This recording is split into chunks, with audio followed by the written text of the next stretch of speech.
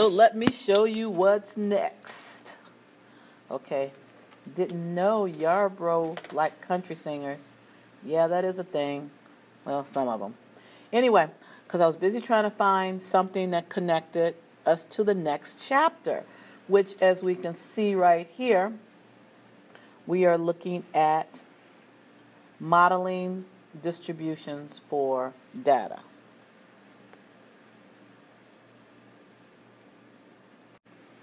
Now let's look and see what our objectives are here. For today, all we're going to be doing is finding and interpreting the p-tile, and that's the percentile, of an individual value with, a, with the distribution of data.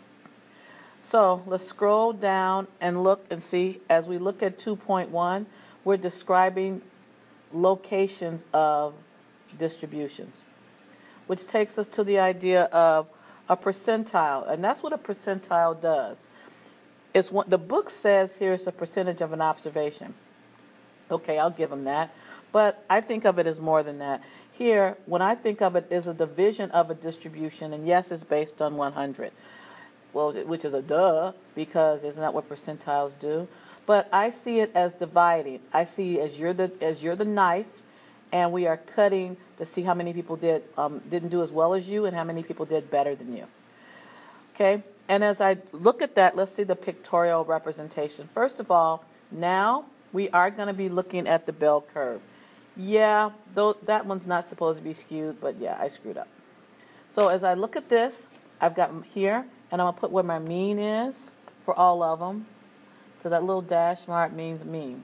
So my 40th percentile is going to be a little bit below there, which means you did better than 40%, and then 60% did better than you.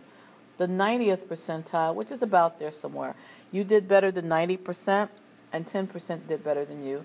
And the 50 percentile, which is your 50 50. And as we look here, yay, you have reached mediocrity. Mediocrity is not a good thing for us, is it? No, no, no, no, because we expect to be above the average. Okay, I've got to get the phone. Just a minute.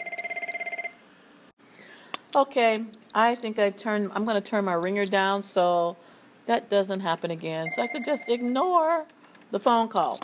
Okay, now as we look at the idea of a percentile, so let's look at this data right here. We have um, we have a stem plot to show the percentage of residents age 65 and older in the different states. Let's look at our key. As we look at our key right here, we see that 15 um, slash 2 means 15.2 percent. So when we see that right there, that represents 15.2%. So as we read part A, it says find and interpret the percentage for Colorado where 10.1% of the residents are age 65 and older. So here on our stem plot, I found um, 10.1%. And now I'm just going to count. I've got one, two, three, four um, states that are before that um, 10.1%. So that's what I'm saying right here. Four states less than 10.1%. So four out of the 50, that means that our percentile, which is again a knife that separates the ones that did worse versus the ones that did better, four out of 50, that is 8%. And recognize how we can write it in statistics. We can have P, capital P sub 8. They also asked us to do interpretation. Well, 8% of the states have a smaller percentage of residents age 65, and I should say um, as compared to Colorado. So I should add that, so you go ahead and put that. Now, the next thing I want to look at is this problem. And you can see I, I put it in blue. And now we're talking about Rhode Island. So I want you to take a moment and try it yourself. First of all, go ahead and count. And here you're counting 1, 2, 3, 4, 5, 6, 7, 8. And you're going to keep counting until you get to that number right before it. And tell me how many that is. And yes, that there are 40 of them that are less than that spot right there, which represents 13.9%. Okay, so here, 40 less than that 13.9%, so that's 40 divided by 50, so that is going to be 80. That's the 80th percentile. And here we can see that's P80. So, as I look at this, basically putting it in context or interpreting, that's a better way of putting it. So 80% of the states have a smaller percent of residents than Rhode Island. Um, um, of, I should have put here of um, residents age 65 and older. That's an awkward sentence, but you get it. Now, now let's look at this next question. Which of these two states is more unusual? Well, this is the thing. When we're talking about unusual, we're talking about how far, how far away from the mean. How far away from, I'm doing my air quotes right now, guys, how far away from it is average? Well, 8% is over here somewhere, 80% is here, 80% is closer to 50%. So the one that's more unusual is the one that's the farthest away from the middle 50% which is Colorado.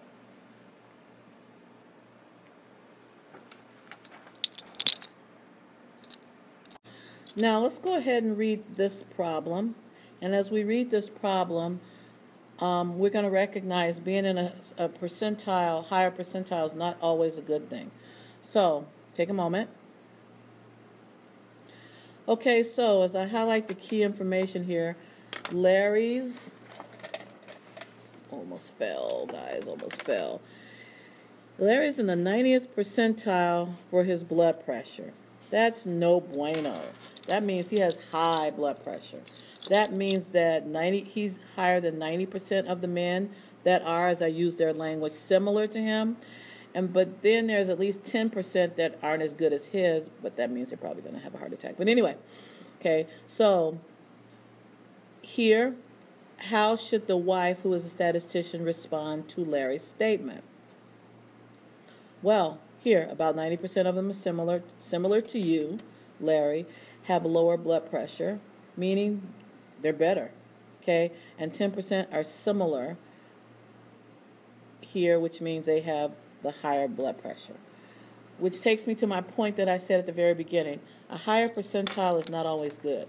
Um, for those of you who have little brothers and sisters, um, really young ones and you were old enough to recognize percentiles of weight, your parents will tell you that, or young parents, well, my child is in the 75th percentile for height, which that means that they're pretty tall. You know, oh, my child is in the 90th percentile of weight. Well, that means they're a little chubby. Okay, but that's um, what it is. But with all percentiles, we are comparing it to the mean or the mean the mean or the median average and I want to say both because when it comes to the idea of bell curves when the median and the mean are approximately the same. Remember what's the S word? Yep just a metric now I'm going to wait for problem number 6 and I want to jump down to this right here and talk about another topic when it comes to the idea of percentiles. Relative um, frequency um, um, polygons. That's what they're referred to, or the term that they see all the majority of the time is ogive.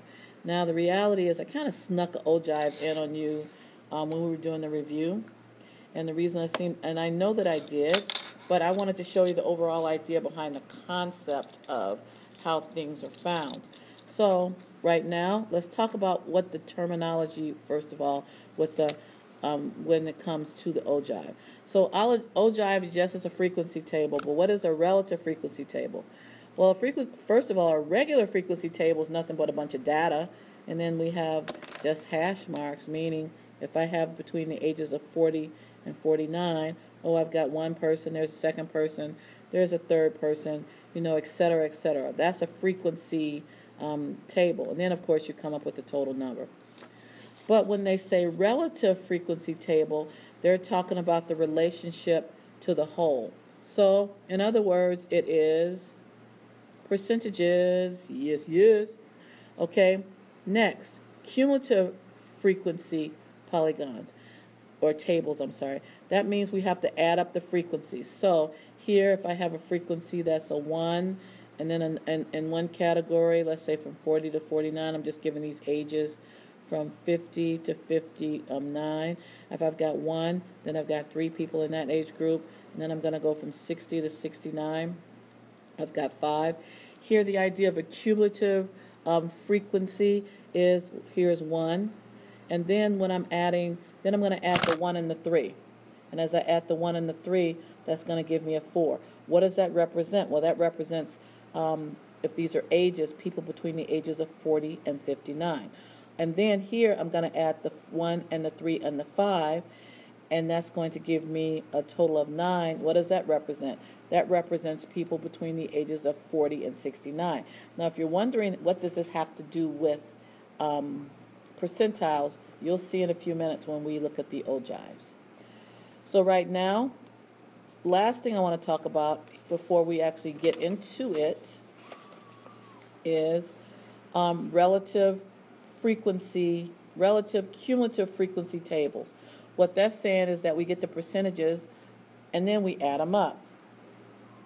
Now, I'm just going to jump into an example for this and not even go back to the, what I did. Because, see, the thing about having a cumulative, relative frequency table, and I know I said it um, backwards, was just to remind you of this, to remind you that I've got to have a cumulative. Well, all I did was add up a short list. Then I've got to find a percentage of the whole when I've accumulated things. So, let's just jump down to the next problem and you'll see exactly what I'm talking about. This list right here is the list of when presidents were inaugurated. Please change that um, right there from 45 to 49 because when this was done, Obama was not president. So, and he was inaugurated somewhere in his later late 40s, even though he's old looking right now. Okay, so here, please notice what did I do? I found the total, and these are the frequencies. There was two presidents that were born between 40 and 44, um, seven presidents who were born between, I'm sorry, not born, that were inaugurated, inaugurated between 45 and 49, 13 presidents that were inaugurated between the ages of 50 and 54, and so on. So here, relative frequency. Well, that's going to be 2 out of 44. That's going to be 7 out of 44. That's going to be 13 out of 44, 12 out of 44, so forth and so on. And you can figure out the percentages. But I chose not to put the percentage down here because of this particular portion right here. I need cumulative frequency. So as I do the cumulative frequency, I don't want, I just want to be able to look at these numbers right here. Add the 2, and that's going to be the 2 right here. Okay, now all of a sudden, I want to add the 2 and the 7, and that's going to give me the, um, give me the 9. Because remember, the whole thing is frequency is nothing but a number or a tally. Cumulative means you add them up. Notice here what's happening.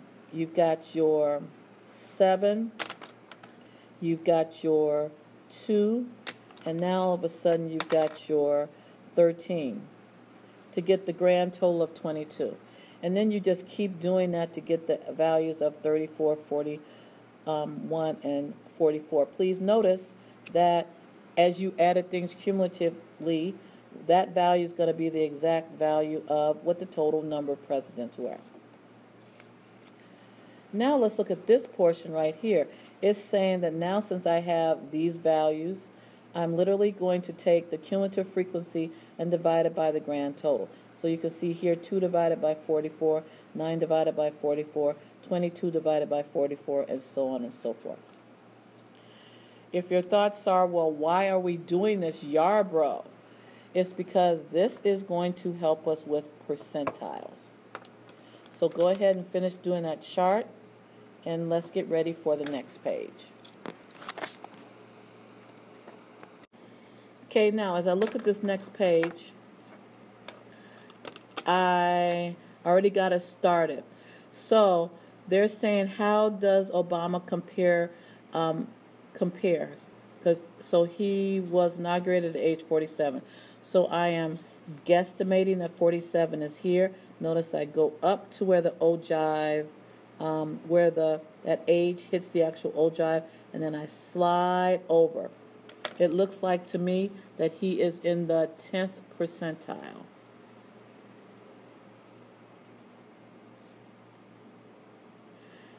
And then I'm just going to represent it as P10. Remember what that means. That means that there were, um, this represents the number that did not, that were inaugurated younger than, um, younger than him, and then the other 90% represents the inaugur- people that were inaugurated or presidents that were inaugurated that were older than him. Let's go on to part B. Here, how does President Lincoln compare? Well, I looked it up. Um, I Googled it. He was 52 when he was inaugurated. So you can see I have the area right there that's 52. I'm too lazy to get a straight edge now. Oh, I'm paying for it. That was crooked. And then I'm just going to slide over. You can see how this will be much better with the straight edge. Oh, that's pretty straight there. You got to give me credit for that one. Okay, so here, as we're looking at that, that's about 52. Some of you might say, well, it's a little, little taller than that. Okay, I'll give you that one. So it looks like Lincoln is in about the 21st percentile. 21st. I'm going to save in the 22nd because you see how off I am. It would have been a little higher. Okay, here, the center of the distribution. The center of the distribution would be this. Let's look at the, what's the center of any distribution? The 50th percentile here. And then, yes, I'm going to use a straight edge. Fine, people, fine. Whatever was handy. So it looks like the 50th percentile was age 55.